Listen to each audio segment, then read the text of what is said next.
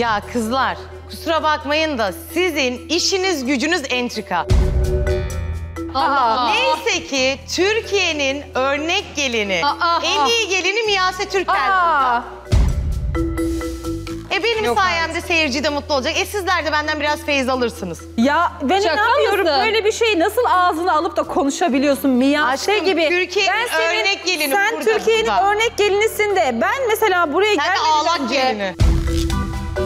Ben buraya gel ben ben yani beni bilen biliyor ben süperstarım bunu tekrar tekrar. Aha. Kızlar söyle Süperstarlar yaşlı olmuyor muydu ya? tekrardan çıkartmayın ağzımdan ya benim şu kelimeleri. Ya Miyase sen misin örnek gelin? Evet. Yani sen kayınvalidenin evinin e, pis olduğunu iddia eden, kayınvalidene mikser diyen, hatta her şeyi geçtim. Ben buraya seninle değil yani kayınvalidemle değil de üvey kayınvalideyle geleceğim diyen kişi sen misin yani örnek gelin?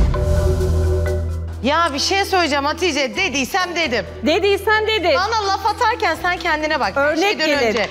Sen burada canım Hüsniye teyzeciğimin yaptığı her şeyi ortaya dökmeye çalışan kişi. Ee, Kadının yani senin evini dinliyormuş, gözetliyormuş diye burada demediğin kalmadı. Bir verdiği zaman kadını böyle hani üstüne gide gide kalp krizleri geçirten sen. Sen mi örnek gelinsin?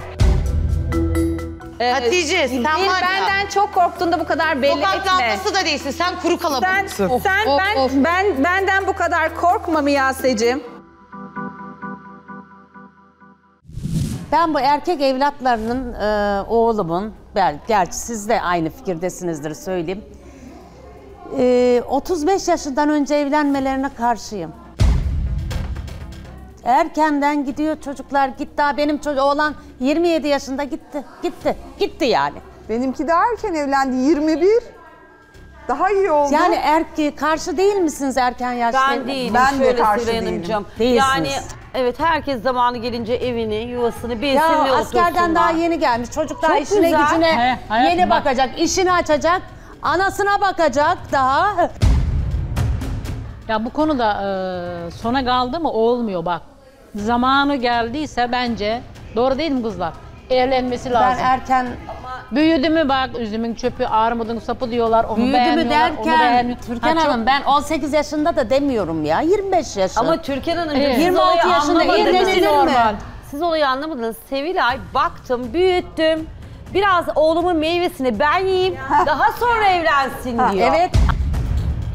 Erken evlenmesi tamam. Erken evlenmesin. Biraz beraber e, annesine yanında da olsun, destek olsun. Fakat bir yandan da diyorum tamam 30 yaşında evlensin. En azından gözüm arkada kalmaz. Çünkü oğlum yaşlandıkça ben de yaşlanıyorum. Oğluma en azından yemeğini yapar.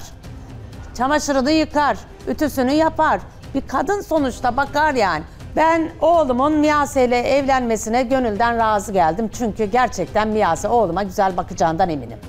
Güzel bakıyor da. Ay gözüm arkada kalmasın Kalmaz dedi. evet kalmaz. Yani şöyle bir şey söyleyeceğim. Siz bir nevi bakıcı aramışsınız oğlunuza. Öyle değil mi? Bakıcı diye değil yani. Senin de oğlunun çamaşırını sen mi yıkıyorsun? Karısı yıkamıyor Ya mu? ben yani bir çamaşır- şekilde bakıyor. Çamaşırı Evet, makine müşterek. yıkıyor canım ya. Ya he- neyse makine veya Elinde değil. mi yıkıyor?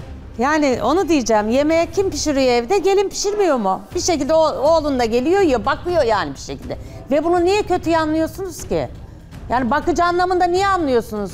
Oğlunuz bir erkeklere zaten hep biz sizde kocanıza bakmadınız mı? Bakmıyor musunuz? Ya hayatım kocamıza bakıyoruz ama E yeri tamam, yeri gelin de geldiğinde oğlumuza bakacak, Yeri kadar geldiğinde eşleri de tabii çocuğa da bakıyor.